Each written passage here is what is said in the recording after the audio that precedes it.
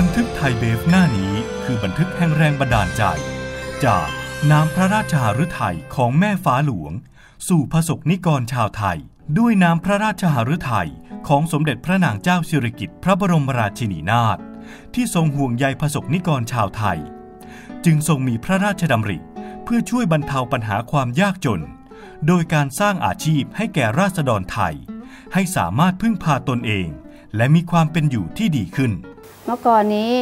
ในครอบครัวก็ระหองระแหงเงินก็ไม่พอใช้ใช่ไหมพอพอตั้งกลุ่มตัวนี้เขาก็ทำกัน เขาก็มีรายได้เพิ่มขึ้น แล้วลูกหลานก็ได้เรียนในทุนของพระราชทานขององค์สมเด็จแม่เหมือนกัน กลุ่มแม่บ้านจักสารละเอียด บ้านไทยประจันจังหวัดราชบุรี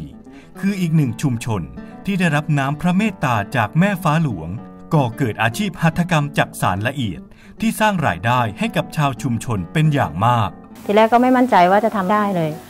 มมันทำยากงานมันละเอียดมาก ทีนี้ทำไปทำมาเกิดนึกรักชอบ พอทำไปทำไปก็มันสร้างไรายได้ดีเลย จากที่ว่าไม่ไม่ครอบครัวไม่ค่อยจะมีก็พอได้กินได้ใช้ แล้วก็ ลูกก็ได้เรียนสูงๆ ก็มีสร้างไรายได้เยอะเลยค่ะ จากน้ำพระราชหฤทัยของสมเด็จพระนางเจ้าสิริกิติ์พระบรมราชินีนาถเปรียบประดุดแสงสว่างนำทางชีวิตให้ประสบนิกรชาวไทย ได้มีความเป็นอยู่ที่ดี มีอาชีพที่ยั่งยืนต่อไป ขอให้ท่านพระองค์ท่านยังท่านอายุยืนนานนะคะ ขอให้ท่านทรงพระเจริญ อยู่กับราษฎรไปจนยิ่งยืนนานค่ะไทยเบฟขอบันทึกจากน้ำพระราชหฤทัยของแม่ฟ้าหลวง สู่ประสบนิกรชาวไทย เพื่อส่งต่อแรงบันดาลใจ สู่สังคมไทย บริษัทไทยเบเวอเรจจำกัดมหาชน